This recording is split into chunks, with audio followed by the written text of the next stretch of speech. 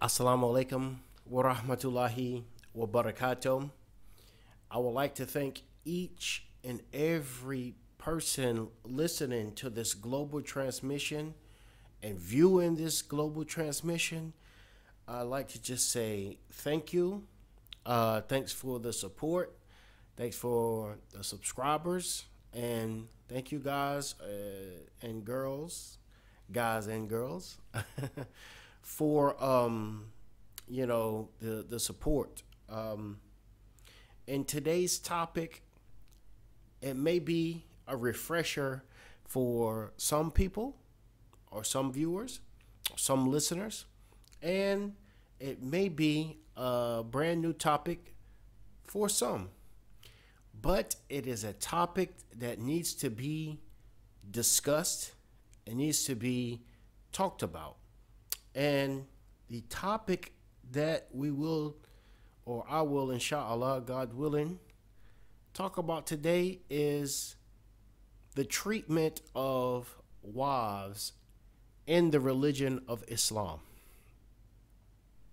As always, please share, share, share, share, subscribe, and share. I can't stress it enough. Um, to start out with, the instructions the manual, the guidance on how to treat your wife or wives, if you have more than one, it comes from the Almighty Allah or the Almighty God Himself. And He instructs men to treat your wives with what? In the Holy Quran, chapter 4, verse 19, he says, or the Holy Quran says, and live with them in kindness.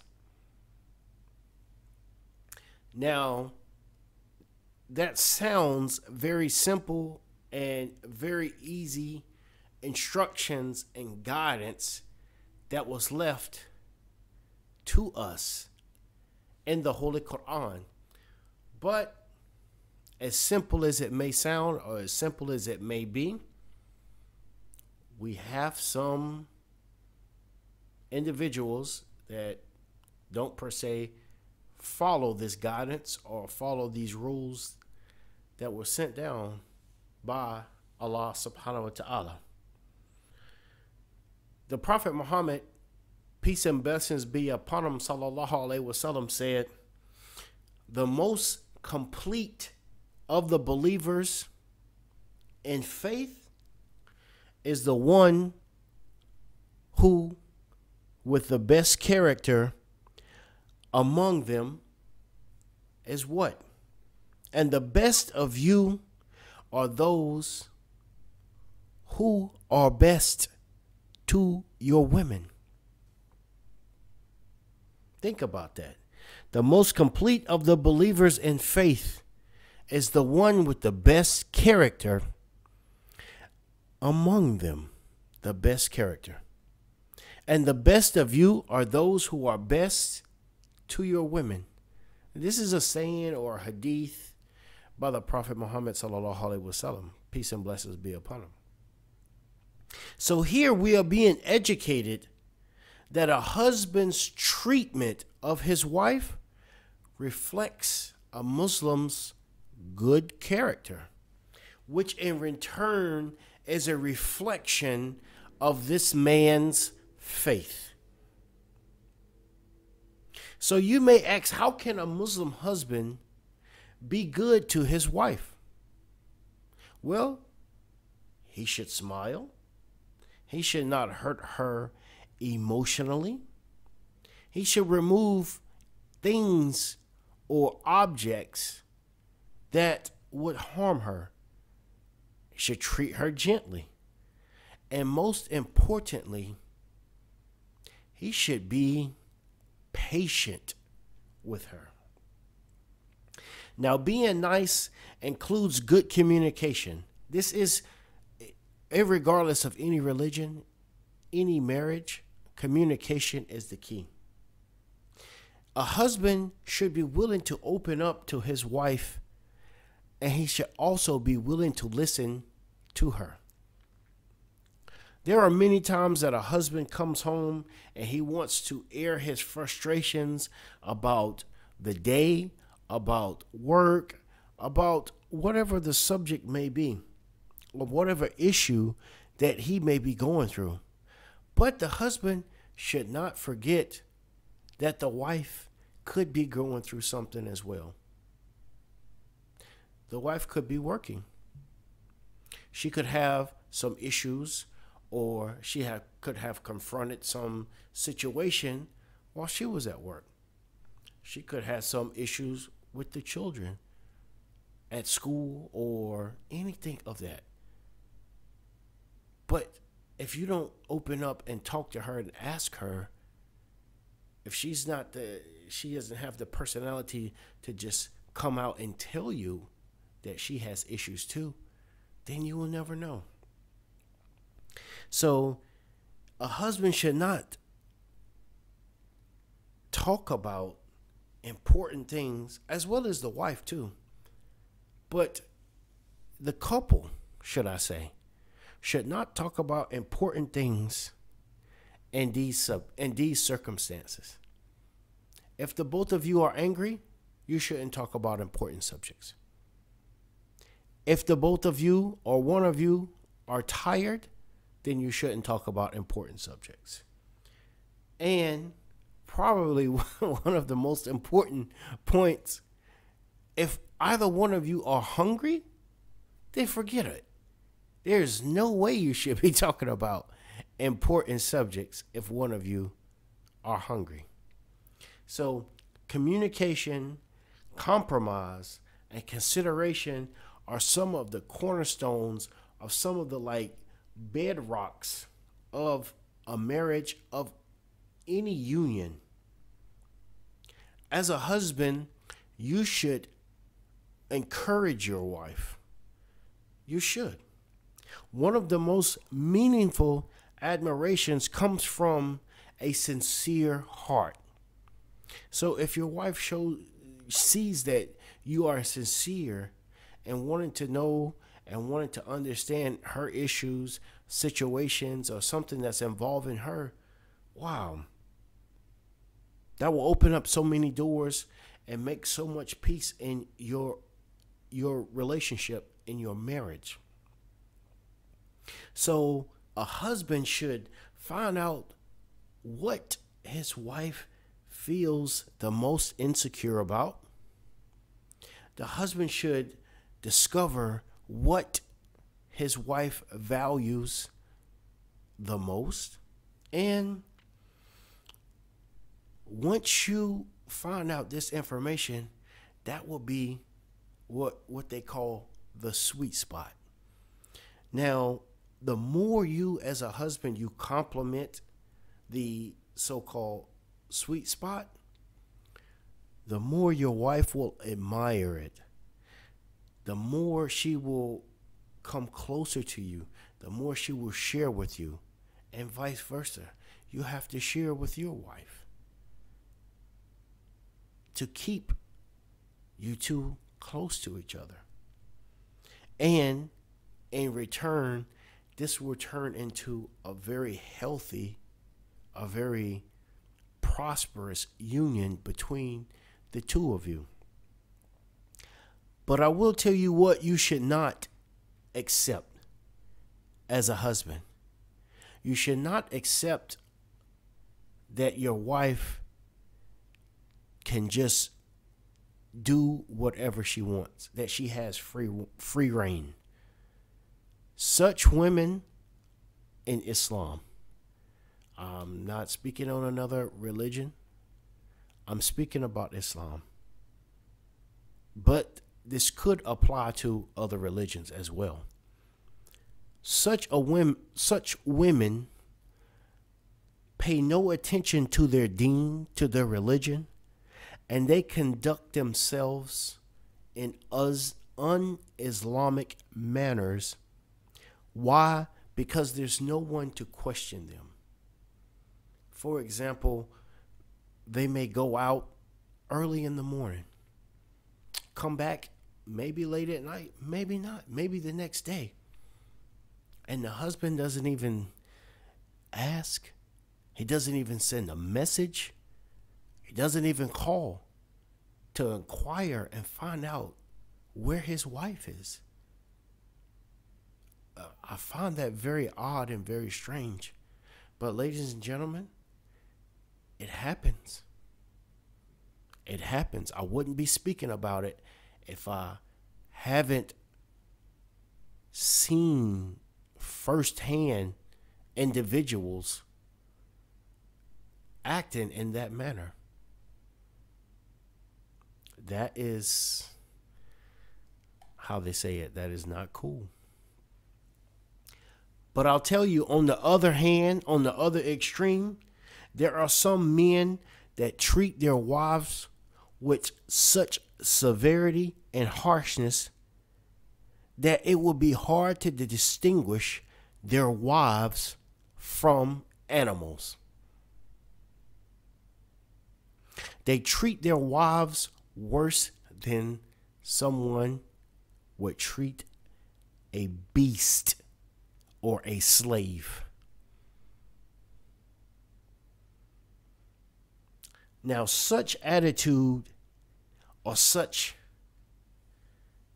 of a characteristic as that is extremely dangerous and also it is contrary and contradictory to the religion of Islam.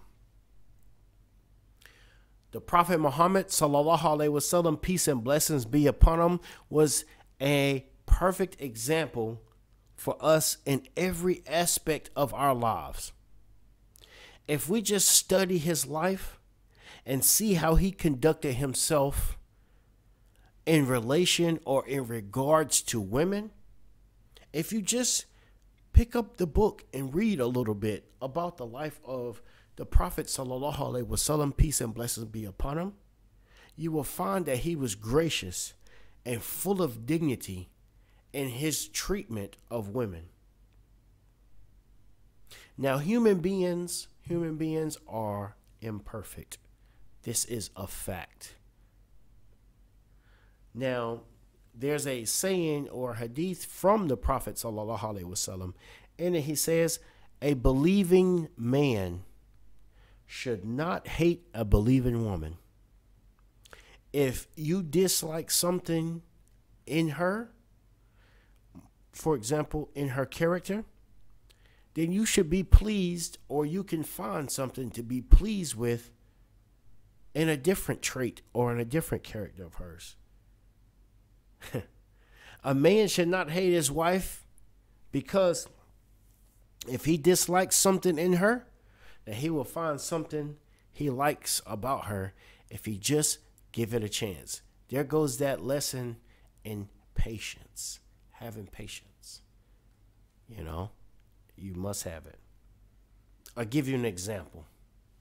A husband, he may appreciate the way, the way that his wife arranges the clean laundry, for uh, i.e., the way that she folds up the laundry and puts it in the cabinet or puts it on the shelf, or she may lay out his clothes that you know she think would be nice for him to wear that day.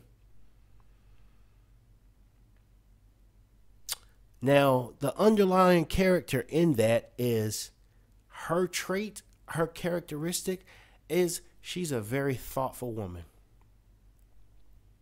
So the husband, he should take that into consideration. Traits such as compassion, generosity, kindness, creativity, these things, you should explore them as a husband. Don't just say, "Oh, she, she's not a, a, a good cook." Oh, maybe she does five or six other things better than that. Better than cooking. Or how about this? Go when she's cooking, go in the kitchen. Maybe the food uh, doesn't is, is kind of bland and it doesn't have a, a, a flavorful taste to it. Go in the kitchen, grab some of the spices, and, and, and add it to the dish that she's preparing. That's a subtle way of giving her a hint without, you know, being disrespectful about it, without putting her down. Just add some spices to it. Say, mmm, you know, let's let's let, let's try the the let's try the meat with this type this uh this spice tonight. Or let's try the chicken with this spice. Then after you taste it, he's, oh, this is very delicious. She'll pick up on that. She'll say, oh, this is this spice here, this is what my husband likes. So conflict in marriage is virtually inevitable and it leads to rage and anger. Although anger is one of the most difficult emotions to manage, the first step toward controlling it can be learning how to forgive those who hurt us. In the case of conflict, a husband should not stop talking to his wife, and he should not emotionally hurt her. He may stop sleeping in the same bed if it will improve the situation. But he should not emotionally hurt her, nor should he physically hurt her. Under no circumstance, no matter how angry or how someone feels that it may be justified, there's no way in Islam or any other religion that a husband is allowed to physically or mentally degrade or hurt or destroy his wife. And that is a summary, just a small summary, of how kind treatment of wives should be conducted in the religion of Islam. Please, as I said, subscribe, share. Someone else may benefit from this more than you benefit. But by sharing, you would take the what they call the ajr or the blessing from Allah subhanahu wa ta'ala, from God Almighty. So, someone out there that may not be treating his wife kindly can listen and understand that the road and the path that he's going is not the correct path. And hopefully it will guide him. These words will guide him to do the right thing. Assalamu alaikum wa rahmatullahi wa barakatuh.